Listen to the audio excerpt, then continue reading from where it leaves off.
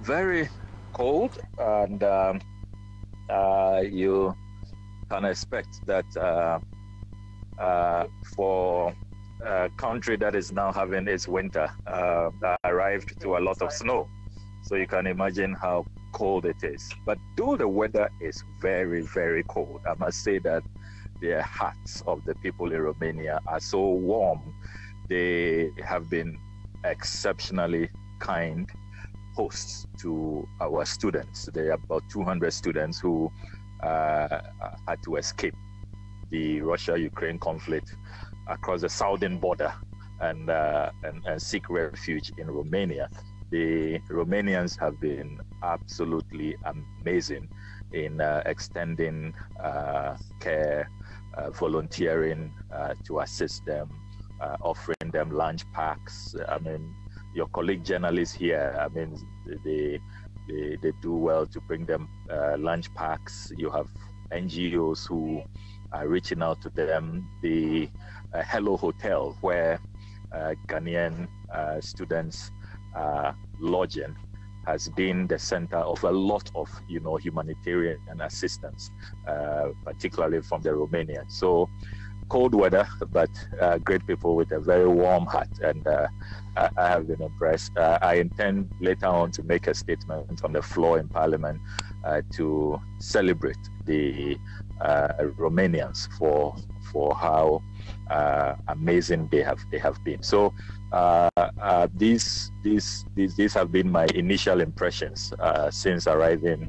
in uh, Bucharest uh, yesterday. Uh, one of the person you praise highly is Ahmed Tijani Abubakar, who you say is with the diplomatic mission in Prague, Ghana's diplomatic mission in Prague. How, how, how, far has he been? Oh, he's been absolutely phenomenal. a lot of students I've interacted with tell me that um, he's the only person who uh, they have met or they have known from our embassy uh, since uh, this uh, matter uh, uh, occurred. he has been the only one here. You know, we don't have an embassy in Romania. However, our embassy in Prague, Czech, has concurrent responsibility. So they are in charge of Romania, Moldova, and uh, uh, allied countries. So um, he is the only embassy official, and as I said in my uh, in my engagements uh, yesterday uh, with with the students, uh, he deserves a very special praise. He is the one who rushed here, made hotel arrangements, and he has been, you know, receiving the calls and uh, reaching out to the border points and helping them to come in uh, when they cross the border. So, uh, one man commando, you may want to call him, uh, Tijani has been a very exceptional consular officer, and uh, he deserves he deserves uh, a lot of a lot of praise. I, I met him uh, many years ago when he was posted to Abuja, Nigeria. I didn't know that he was now in Europe and um, uh, I, am really impressed to see how experienced he's become, how skillful, and and the, the, the extent of dexterity and professionalism that he has uh, brought to bear for only one man. I mean, later on, I'm sure that when we meet at the level of the Foreign Affairs Committee to review uh, the response, uh, I'll be asking questions as to why only one man was sent uh, to Romania uh, when uh, we have so many students pouring in. And this has been, uh, if you like, the, the center of uh, uh, Ghanaian students escaping to Romania. He's operating alone? So, yes, yes, he's the, he's the only one here. And I think that that is, that is too much, too much burden, too much pressure uh, on on one man uh, in in Romania. So uh, it's good I have come to see this. It's one of the uh, matters I will raise uh, when we meet the foreign ministry as a committee uh, later. There's a meeting scheduled sometime tomorrow I hope I'm able to make it down for that meeting. But I will certainly uh, raise this matter of, of concern. But that is not to take anything away from him as a person. I just think that um, he's under enormous pressure. I mean, there's, so much pressure for one person uh, in in the midst of all of this beehive of activity, all the you know humanitarian crisis, the various aspects. Because you see, uh, it's not only about uh, receiving people at the border. You have to uh, help them to their hotels, make sure they are settled. Then there are uh, uh, those who may have to see a doctor, who may have to go to hospital. Then you have uh, the ticketing issues. How do you secure their tickets? Before you secure their tickets, you must make sure they have valid passports and then uh, negotiate with the airlines and then um, uh, have a scheduled uh, uh, departure uh, program for the students. So you, you can just imagine all of this work. That's a lot of work for one man. And, and a lot of work, a lot of work for one man. And that is why uh, I singled him out uh, for for praise in, in my post uh, last night. I've really uh, been impressed uh, with uh, how he has managed all of this, but clearly it's not the best. I mean, as a country, we should we should do better. yes, I know that Europe is stretched. There are other um, other border crossing points. There, there you have Ghanaian students who have crossed into Poland, some have crossed into Slovakia, some have crossed into Czech, uh, others have crossed into into Hungary. Uh, but um, uh, nevertheless, nevertheless, uh, to have only one person in Romania, particularly where you have the the, the highest numbers, uh, I, I, don't think that uh, this is the best deployment uh, we could do. We are not being efficient, and we are not being fair to the to the young man uh, Tijani. Uh, but but isn't that uh, because one of the things you're also thinking about is the assessment that went into making that decision at this time? Uh, do you get a sense that perhaps those who are in charge of the Czech embassy do not understand or have not been able to, as yet, make a proper assessment of the kind of work they have to do in this situation? That that that may be possible. Uh, it, it it it sounds like a plausible um, uh, uh, reason, but I do not want to uh, sing for them. I do not want to hazard a guess. Um, I, I think that we would need to do a review and um, and and make sure that lessons are, are learned. And and as a country, we also need to have uh, a well laid out, you know, uh, disaster uh, response strategy for our various uh, embassies, uh, well ingrained within our foreign policy uh, interests. When when there are disasters, how do we respond? When do we evacuate? which particular missions, you know, take over? Can there be some uh, quick realignment where people can be posted from even uh, other continents or from Accra, you know, to, to, to assist? Uh, it, it looks like the, we don't seem to have a plan and a policy for these things. So when when uh, disaster strikes or when there is an emergency, you get the impression that there is a lot of knee-jerk reaction. We are just firefighting, and uh, we don't seem to have uh, a blueprint that is being followed. So uh, it's, it's, it's, one of the recommendations that I intend to make strongly. I'm glad that uh, uh, God has been good, and uh, I've had safe passage to Romania to see all of these things uh, for myself, and and and it's it it shows why uh, these these uh, trips are important, particularly for ranking members, so that you don't become just an armchair uh, uh, MP responsible for oversight. In carrying out your oversight, you have been to the ground, so you have seen things for yourself, and you know exactly what you are talking about. So it's not just about receiving reports or following media accounts or reportage, uh, but you have been there yourself. You have had direct assessment. You have interacted with the key persons, the key actors on the ground. And so when you are carrying out your oversight, which is your constitutional responsibility, you can uh, serve the country better and you can push the right, you know, uh, angles, uh, press the right buttons so that uh, things will improve. So that uh, when these matters recur, another time that there is uh, an international crisis or a disaster or a tragedy uh, or it's, it's, a pandemic and there has to be some emergency response, we, will do better as, as a country. So it, has been an eye opener. I am really glad that I was able to make the trip and uh, and and I, I, also have enjoyed the free um, interaction, the no holds barred interaction, and how um, our people our compatriots have opened up. I mean, for example, Sena, if you hear what our students have gone through, look, they had to pack their buses uh, about three hours of walk uh, to uh, the border. And if they tell you what they went through, the reports about racism is very true. I have now listened to them. I have seen the scars of it. I've seen videos of it.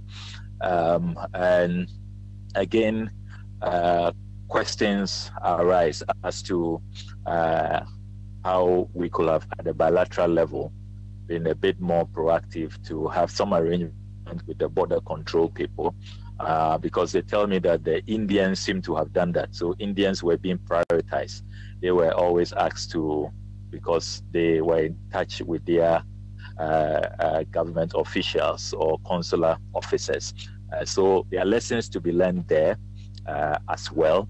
And then when they they they finally managed to cross after all the ordeal, the trauma, all the um, uh, it, it they credit the Romanians a lot. The Romanians were those who had set up tents, warm clothing. They had come with hot food, and it was the Romanians who held them. Some of them for two days, three days, um, until um, Tijani have made arrangements, and then they were uh, ferried into the capital, uh, Bucharest, where uh, they were offered hotel accommodation at the at the Hello Hotel. So. Um, and and and honorable, uh, not, to break into to your uh, thought pattern, but uh, that is where I was a little concerned when you said you talk about racism because you're talking about uh, the spirit, the the, the the, the the good faith the Romanians have shown, and then you're talking about racism. Racism from whom, if not from the Romanians? No, uh, the racism is on the Ukrainian side. When when they were when they were trying to cross the Ukrainian border to get out of Ukraine. Uh, so, so unfortunately, the accusation stands leveled against the Ukrainians. Uh, of course, we sympathize with what they are going through, what the, the destruction at the hands of the Russians and all of that. But uh, their officers at the border did not do their country uh, any good. And uh, you're seeing the statements that the Africa Union has issued. Uh, the United Nations have also just put out a report. They have done their independent assessment and they confirm, the UN has confirmed that there was a lot of racism and, uh, and, and, and, and, a violation of human rights at, at, at, the border. So it's the, it's the Ukrainian side of, uh, the, of, of, of the movement. But when they had crossed the Ukrainian border into Romania, the Romanians, uh, you know, have been totally uh, different. Uh, their reception was uh, so humane. Uh, it was exceptional, and they they, they continue to shower praises on, on the Romanians. So uh, we, we, we, we need to um, do the distinction. So the uh, accusations of racism uh, is on the Ukrainian side. Uh, but when they had crossed the southern border of Ukraine and entered Romania, uh, the Romanians uh, offered a totally different reception. And you said that you had to work with Tijani to secure a hotel from them. Does that mean that you've not only been in, Buchar- uh, in Bucharest, you've also been at the border posts where they are entering? Uh, which are which places have you been to, and what are you also observing aside uh, the, the what you're listening to and watching people? Uh, when I arrived, the uh, hotel arrangements had been made. Uh, Tijani had made those those arrangements in Bucharest. So um, the students had been ferried uh, from the border points. There were three border crossing points, and they had been ferried. There are some of the students who were um, uh, uh, so fortunate they couldn't believe it. Uh, a number of Ukraine, uh, Romanian volunteers, pardon me, uh, had driven all the way with their their own vehicles, and it's it's it's about a ten hour drive. Can you imagine? Ten hour drive, and these Ukraine, these Romanians had had taken leave from work and had had come with their own vehicles to drive them uh, to into the capital. And so I have been at the Hello uh, Hotel uh, to assess their living conditions and all of that. And then um, after that, I hosted them to lunch. Uh, there is there's this uh, Euro hotel not too far away from where they are, about uh, a 10 minute walk. And uh, uh that is uh, a, a, more superior hotel, a more superior facility. So I just thought that uh, we should give the students um, a nice treat. something different, something out of, you know, because where they are, I think it's a one star or two star hotel a bit lower. Uh, but you know they appreciate it, uh, of course. When you are coming uh, from out of a war situation, you've left even your your your personal effects, your gadgets, and uh, I mean some of them didn't take anything, not even their laptops. They just it's, it's because it's about life, life first, you know. Uh, so uh, I hosted them to lunch. Um, at, at, the Euro Hotel where they could uh, at least um, uh, have something different, something nicer and, and warm to consume. And and there we we did interact. And listening to them carefully, I noticed that one, they are concerned about how quickly they can be evacuated out of here uh, to Ghana. 17 of their colleagues have uh, been evacuated, but the about 150 remain. Uh, so we assured them that looking at the security arrangements that uh, uh Tijani spearheaded, he secured Qatar Airways for them uh, for Friday and then Sunday. Uh, so we anticipate that by Monday, all of them should be in Ghana. they are also concerned about their, their studies. Some of the my final year, six years, some of them, their fifth year, I've done four years, and they are concerned about all these uh, investments because Ukrainian school fees are not cheap at all. It's very expensive, and you know, international students classification already puts you a very, you know, high, high, high paying, you know, category. So, um, I, I did assure them that uh, we will explore uh, bilateral arrangements, probably so they can finish their courses online. I'm sure that if we reach out to, to the Ministry of Education in Ukraine uh, using bilateral channels, bilateral diplomatic channels, that can be uh, achieved. Uh, also, uh, whilst I was with them, I got good news from the Bulgarian ambassador who reached out to me from uh, from Bulgaria uh, that their government has just decided that all the students living in Ukraine, if they are so minded, they can take up an offer which they are making where they can come to Bulgaria and finish their courses. Um, any time that day. So that is if the the war continues in Ukraine for a long time, or the recovery process uh, becomes exactly, exactly. So they were happy to hear that good news, and uh, uh I, I, think that eventually uh, tempers were calm. Uh, but you know, it's clear to me that these are students who have been heavily traumatized. They have gone through so much, and I hope that when they return, parents will will will will encourage them seeing psychologists, you know, uh, to assist them because it's not always about just physical injury. Yes, they may uh, on the outside be looking uh, very nice and uh, uh, unscathed, uh, but you you you have to you have to go beyond that and and when you interact with them when they tell you how they were crying and wailing, and some of them just thought that you know all hope was lost; they wouldn't make it. Uh, they, they, should tell you that you know, uh, as they themselves said, these are memories that are forever etched, and uh, it's going to be very difficult for the scar to be uh, erased. So they will require some psychological assistance uh, when when when they return. But for now, they are in a, in a good place. The Romanians are doing a good job. Um, uh, they they are safe in their hotel, and uh, I'll be meeting with them again later today. Uh, and, uh, and and I'm sure that um, uh, they they they will continue to be grateful for the bipartisan support and how our country has rallied because they they say they follow social media and all that. They see the prayers. Interestingly, yesterday when I arrived at the hotel, they were doing this uh, uh, general prayer um, uh, meeting, and, and all of them had joined uh, uh, via Zoom, and they were praying particularly for their colleagues who are still stuck in Ukraine.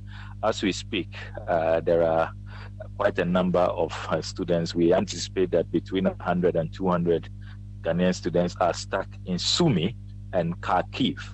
Uh, these two cities, Sumy and then Kharkiv. So um, they are two cities, 100 to 200. Yes, yes, yes, uh, yes. Uh, uh, because there are in in in in in Sumy alone, okay. there are 93.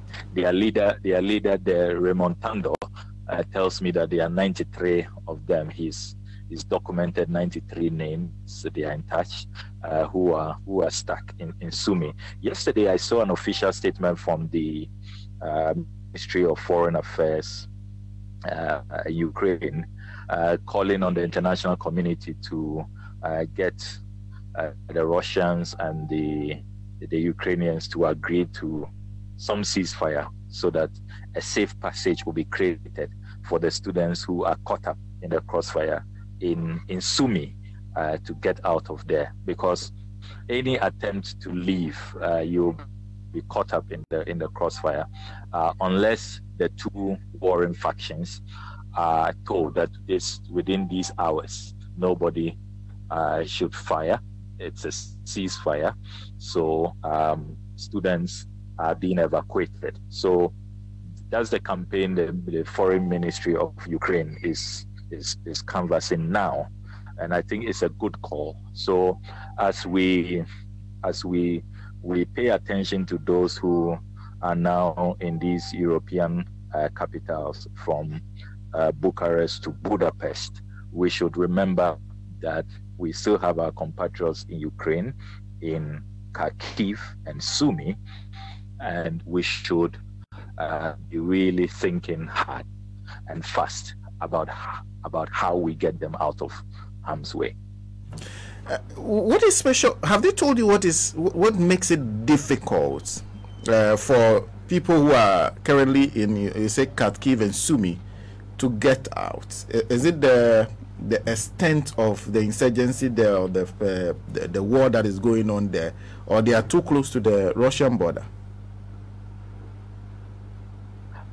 I think what's making it very difficult from what they tell me is that um, apart from the fact that Sumy is very close to the Russian border, um, they have the Russian soldiers. I think it's one of the first cities that they surrounded, and they are they are claiming control over over that city, and it's also become a launch pad because they've taken control. They are they are launching a lot of their attacks uh, from Sumy. So that is what has made it very, very, very difficult, very, very difficult uh, for them. There's one group which you mentioned, and yesterday I had a conversation with, um, I think, the president of NUGS in Ukraine, and he speaks about how they've had to fund the evacuation from their own resources. You said you had to make a, make a modest uh, donation to them. What are they telling you about how they be, they've been able to pull this off? At least get this number of students. 200 is no small number under this circumstance. To Romania alone, are not talking about the ones in Poland and in other countries. What have they been telling you? NUGS Ukraine. Uh, my my brothers and uh, the NUGS executive have been phenomenal. Um, Philip Bobier and Sa and his team, I've told them that you know uh, when when the dust settles, I mean they deserve a national award. Um, it's it's really for their proactive, their superior planning, uh, how they managed to quickly secure buses and to be and to and to be headed to the borders. That is how come we have a good number of students who are in these uh, European capitals. So the students have done very very well, and it's on. Uh, had to rely on their their dues. And apart, apparently, they also had a scheme where they were assisting students whose uh, passports uh, and visas expire. They, uh, they, they charge a little fee to facilitate the renewal. So that is what helped them to raise about $3,000 in their account. And that's what they used. Um, they used, they used, they used the $3,000 to to pay for bus rights uh, out of, of Ukraine. Uh, so they, they, deserve a lot of commendation. Now, um, all of that money has run out because they say that the last uh, payment they had to do in Hungary uh, to pay for uh, the bus route from the Ukrainian Hungarian border into Budapest, into the capital. And so they had totally, they've totally run out. So they started some GoFundMe, uh, hoping that um, uh, the general public who are touched uh, uh with the plight will contribute. Uh, so um, I, I, I, also decided to, to contribute uh, my modest modest donation of 1,000 United States dollars um, to to at least replace what what they have lost, and so they can have something in their accounts because uh, it wouldn't be good to to continue to have a zero account. Anything can happen. There can be an emergency at any time, and considering how supportive they have been, they will be really incapacitated without funds. If they do not have money, uh, they will not be able to respond to any emergency. So, I'm hoping that a lot more Ghanaians will uh, look out for the uh, GoFundMe campaign and, and support them. Uh, and I'm hoping that uh, when we are done, you can at least get us some details and send to my producer so that we can announce it. Because a lot of people who are watching us are people who live outside this country and uh, they understand the GoFundMe a bit better. Um, so we'll, we'll, get there. But sure, sure. I, I also wanted to ask you. I also wanted to ask you whether there's a story from everything you've heard that stuck with you. Oh yes, yes, yes. A number of them. Um, in a in a short while, I'll even be celebrating a young lady uh, on my social media uh, pages. Uh, she's called Mame Akosua, and um, um, they, they, I mean, I mean, great stories about her courage. Um, she crosses the border, and then she realizes that some of her colleagues, particularly females, are stuck across the border, and she will go back to fetch them. You know, she'll go back. She'll go back to fetch them. You know, a situation. I mean, when men were tired and exhausted, and you know, and everybody had become, you know, my survivor first, each man for himself, God for us all. She was the only lady who kept crossing back. Can you imagine what you are running away from? You finally manage after 24 hours to cross the border into Romania, and then you discover that some of your classmates are being left behind, and you don't just shout, but you go back there to help those who were just, you know, uh, uh, uh, worn out, famished, and were had no energy left. She just went in to physically carry them and and she's not that well built or somebody you say you know so you know you know uh, having a lot of muscle.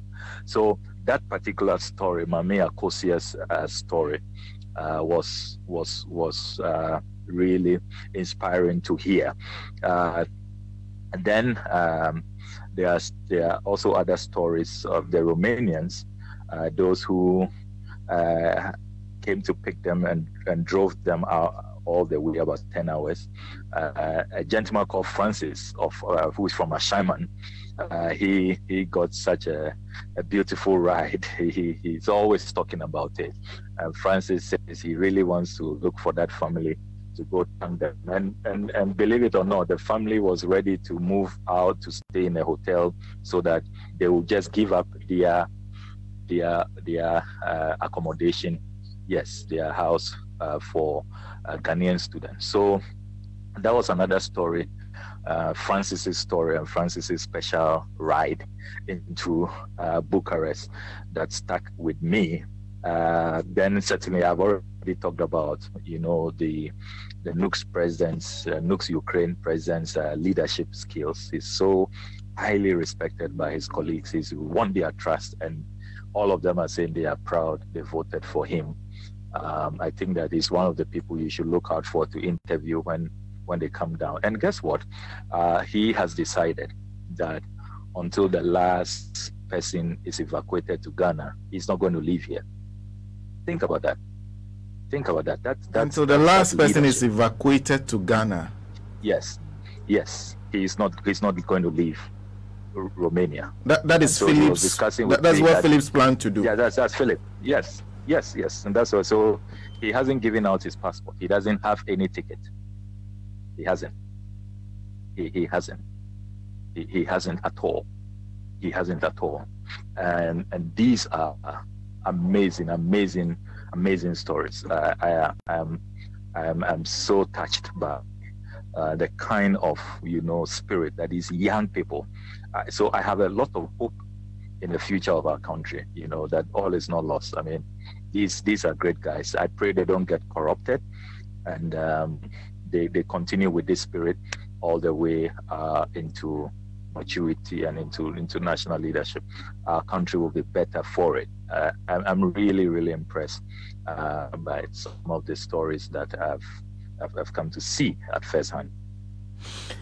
What do we need to do at this time? Because you talked a bit earlier about whether or not, uh, about perhaps maybe if we have um, diplomatic uh, channels being opened, talking to some of these countries to see what can be done immediately. What do we need? Do we need a foreign ministry or a foreign minister on the ground? Do we need a bit more engagement with some of these countries to see what can be done? Because even those close to the Russian border, I know the, the tendency not to go into Russia, but we do have a Russian ambassador. And so, uh, do we need to consider all those options to see how we can secure lies. You see, at this point in time, my brother, every card must be on the table. We should not we should not rule out any option that will bring salvation to our people. Why do I say that? It's a very fluid situation. Things keep changing. Uh, so if you don't keep an eye and you don't have every option on the table and you don't position your people strategically, because as we speak now, if this campaign by the foreign ministry of Ukraine works and they say, okay, we are agreeing to a narrow passage, say we're giving you six hours or 24 hours, uh, evacuate. Are we ready for that? Are our buses ready? Have we made the logistical arrangements when that, you know, ceasefire and um, uh, I mean safe passage is created, we will be ready. Because if not, we will just be bystanders and we'll miss that that that, that opportunity. Um, so things like that, uh, even for our students in Russia, are we sure that we should keep them there? I mean, if you look at the sanctions, I know it is hitting hard, and how now even students cannot access their ATMs. It's even once the Russia has been cut off from the financial system, those who are on government scholarship, it will be difficult to, to you know, release their funds, and family members will find it difficult to reach out to them. Uh, shouldn't we be advising them to leave, especially as uh, a lot of, because of the tit for tat sanctions, a lot of airlines are no longer operating, you know, uh, uh, within Russian airspace. So shouldn't we be more proactive and uh, get uh, our students out of harm's way so that if matters degenerate, there's a lot of prediction, a lot of talk about uh, Third World War and how, you know, Russia itself might not you know, uh, escape entirely uh, from the ongoing conflict. So that's why I say that at this point, you need a lot of far reaching, deep strategic thinking. All cards should be on the table. And at the heart of it should be the preservation of human lives. Let's make no mistake. Um, Indian students have, have died in this. Indian students, at least two Indian students, and uh, one the Ghanaian students I was interacting with yesterday, one, she knew one of the Indian students very, very well. So, how do we avoid situations like that? God forbid we don't want any Ghanaian student or Ghanaian national to add to the casualty numbers. So, it has to be an all hands on deck, all strategies, you know, uh, on the table kind of arrangement. Well, it's wonderful to speak to you this morning. Uh, but the question uh, everybody here keeps asking, and it's a question that has been on my mind, is um, Are you there on the ticket of the committee, or you are there on your own? very good question. Very good question. I saw uh, a number of social media posts, people asking, uh, didn't he also go with a fly, a private jet? And, um, uh, is he going to account to Ghanaians how much taxpayer is spending? because of my recent campaigns about the cost of uh, presidential travels and Adwoa Safo's uh, private jet and all of that, I see our friends on the other side are really uh, in a hurry uh, to get one on me. Uh, but let, let, me state, Sena, for the avoidance of doubt, that my trip, this trip, is not at the expense of the Ghanaian taxpayer. I am using uh, personal resources and I reached out to a few friends. so everything I'm doing here, I mean, the lunch I provided for about 150 students yesterday, the donation to the welfare fund, my air ticket, and other donations that I intend to keep private uh, because uh, uh, we must respect um, people's privacy. Um, it's all it's all, all personal resources. So um, I didn't I didn't ask for money from Parliament, the Parliament of Ghana. Not that I wouldn't have been entitled. I'm sure that uh, I would have been entitled if I sent a memo to the Speaker. Uh, but uh, normally that takes time, the bureaucracy and all of that. Uh, I, I, didn't. I I I, I not only didn't have the pleasure of time, I also thought that this is something that uh, we can do on our own at the individual level. And it's a humanitarian crisis. Uh, others who are not even, you know, Ukrainians or, or, or, or Ghanaians are, are, assisting. So why can't we also uh, help? So um, please let all your uh, listeners and viewers across the globe know that uh, this has not come at any cost to the taxpayer. It's, it's, it's personal resources. So it's typical Samuel Okudzeto Ablakwa. You must be on the ground, and you ended up there. if you, uh, if you put it that way, you are the boss. I have no choice. Well, uh, there are those who want me to ask you several other questions, but I think this is enough for now. And I'm grateful to you for speaking to us. I'm guessing the NUGS executive may have been excited to see you, judging from the fact that you also served as NUGS president at some point in oh, your absolutely, life. Absolutely, uh, absolutely, And you know, yeah, absolutely. You know, I surprised them. I only asked for their address, and they were wondering. They thought that maybe I just want to probably ask our embassy officials to keep an eye on, on them and all of that. They didn't uh, know that they will be seeing me. I kept it as a surprise to them, and you should have heard the screams and the jubilation and the jumping and chanting, you know, when when they saw me at the reception of Hello Hotel yesterday. So it's it's it's been fun. It's been fun and uh, uh, a really a really um, a heartwarming and uh, and an inspirational moment.